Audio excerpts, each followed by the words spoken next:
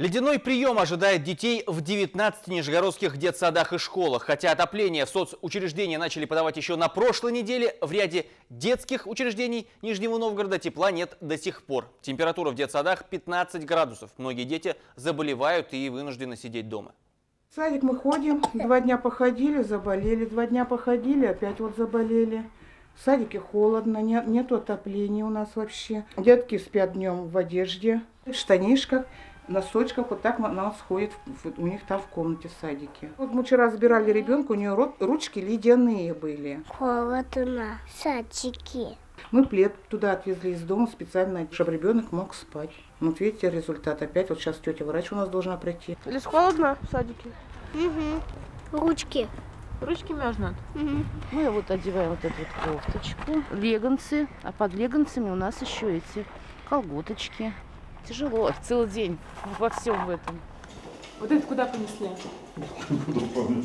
Мы как приходим к 6 часам, часам утра, и до того, пока ребятишки в садике, мы пользуемся обогревателями. У нас никогда в детском саду не было проблем с отоплением. Никогда.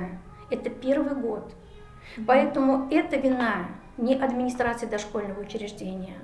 Если нужно показать акты готовности, я готова показать то, что садик готов к теплу, задвижки открыты, вся система готова к приему тепла. Но если нам тепло не дают из другой организации, я его сама себе не дам, у меня нет котельной своей. Должны были дать 21 сейчас планируется дать, дать 26 числа. Так вот они сегодня сказали, только пускать будут, до сих пор не пускают тепло. Дети мерзнут в садике.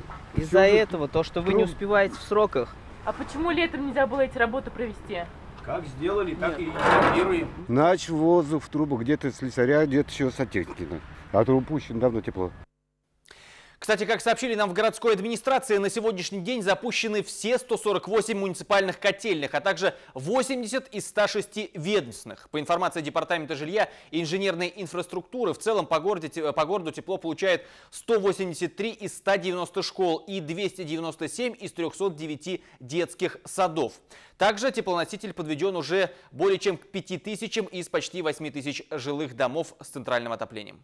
Нужно понять, что температурный режим, он не одномоментно устанавливается в детских садах.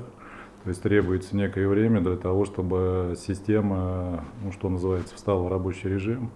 Значит, ну и, соответственно, для того, чтобы прогреть холодное здание, нужно ну, какое-то вот время достаточно продолжительное. Поэтому для нас самое главное на сегодняшний день о том, что теплоноситель есть в детских садах. Дальше уже задача эксплуатирующей организации – в этих детских садах обеспечить необходимую наладку тепла самой системы отопления.